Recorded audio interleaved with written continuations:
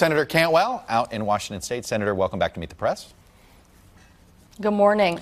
Let me start with the basic question here. Help me out. Where, where do you sit? It feels as if Senate Democrats in general um, all, have all sorts of ideas on how to handle this Supreme Court fight. What is yours?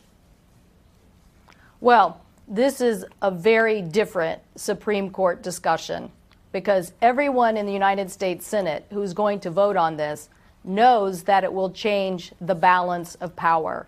So you're not just voting on whether you think Trump should have his nominee. You're voting on whether that nominee is going to change precedent when it comes to a whole host of issues of a woman's right to choose, your access to health care, whether if you have diabetes or asthma, all of a sudden a pre existing condition is no longer allowed and you have to pay more for insurance. So I think that my colleagues on both sides of the aisle know that this vote could be a one of the key votes of their entire career. And they know that no matter what spin comes out of the yeah. White House, if they vote for somebody who's going to change precedent, it could be a career ending move. Okay, that's fine to, to say that in, in, in the aftermath. But the numbers are the numbers, right? We, we know what the numbers are in the Senate. The rules have been changed. Bare majority now does this. So you're, it sounds like you, you want to defeat this nominee for sure, or are you trying to inspire President Trump to pick a moderate? Well, we well, I would love President Trump to pick somebody in the mainstream of American views who are going to hold up years and years and years of precedent. The one great thing about our nation is an independent judiciary. In times of intense political debate, the fact that we have mm. that independent judiciary that will uphold the law is key to what is so great about our country. We're a 51 49 Senate, and if he wants to throw an extreme conservative who basically says, I'm not going to follow precedent, I'm not going to right. follow these laws, then yes, that to me is a is a major change and something the president should be sitting down with moderates right. on that advise and consent and say what would be good for America. All right, but the reality is I think we know where this is headed on a partisan scale considering the president is only looking at nominees pre-vetted by the Federalist Society. So we know he's going to pick some more of a, a traditional conservative. So I ask you, how do Democrats then can you defeat this nominee if it comes from that? Are, are you hoping to woo Senators Murkowski and Collins? Is that the plan here? Well, the plan here is to speak out about the change in balance in the court. You are not just voting, as was with Gorsuch, for just one more name. You know that Justice Kennedy was a swing vote, that he was a libertarian, that sometimes he sided uh, with the conservative justices, sometimes he upheld what were very important issues of marriage equality, of issues on the environment. So, for my colleagues in moderate states, whether that's Democrat or Republican, you're really going to have to decide am I voting for a justice that's going to hold up the Clean Air Act or the Clean Water Act? Am I voting for a justice that is really going to hold up Roe v. Wade or a woman's right to have the freedom to do what mm-hmm. she wants with her body? These are issues, it's not going to be about what they say. It's going to be about whether you really believe that justice, given what the president has said he's willing to nominate. What are you willing so to do? These are going to be very.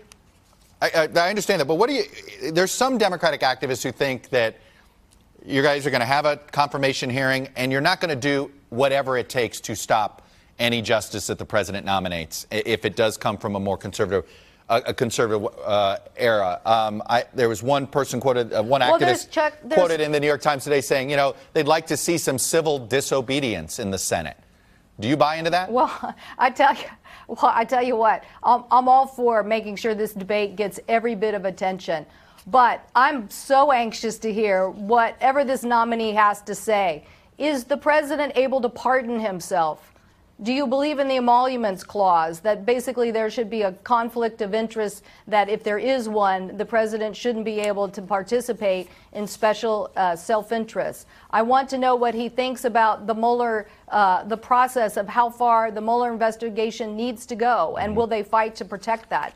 I'm interested in hearing what kind of nominee is going to be on the bench. And if the president is under indictment, what is that right. nominee going to do about that? So these are monumental questions. And this is a person who wants okay. 40 years on the court, or probably 40 years. I want at least 40 minutes to hear what they have to say about these important issues. So you would have an easier time, I think, getting your moderate if the rules of the Senate hadn't hadn't been changed. I want to play for you a remark uh, Mitch McConnell made in 2013 when then Senate Democratic leader Harry Reid changed the rules for lower court nominations. Here's what he said. Say to my friends on the other side of the aisle, you'll regret this, and you may regret it a lot sooner than you think. Do you regret it?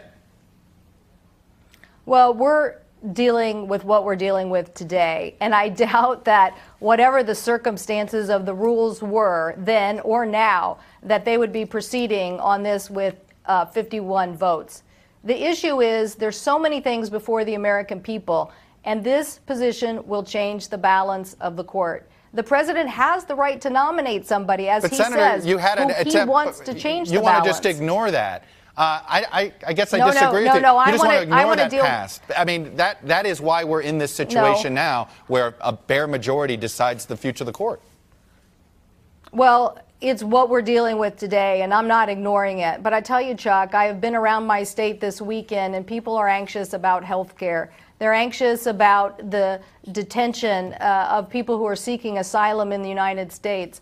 They want to know what is going to happen with this court nominee, they are so anxious that key rights that have been bestowed upon Americans are going to be rolled back. So, yes, they want to know what we're going to do about it.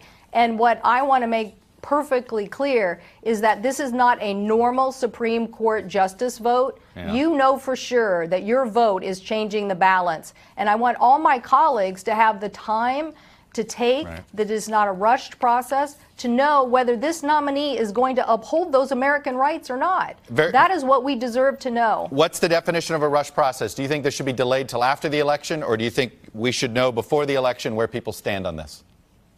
Well, I am sure that the president is in a hurry because he's already said he's going to make a decision by July right. 9th. And what I would say is that in convi- advise and consent role, I'd be sitting down with the moderates to say, what kind of justice do we need in the United States do for this process to make sure that basic rights are upheld? Do you want it but delayed? I think they're going to skip that. But do you want it delayed till after the election I, or not? Well, I would love that because I want to make sure that we have enough time and that the okay. issues are discussed and that we have our rights heard. That's what I would like. All right. Senator Cantwell, I'm going to have to leave it there. Senator, thanks for coming on and sharing your views. I appreciate it. Thank you.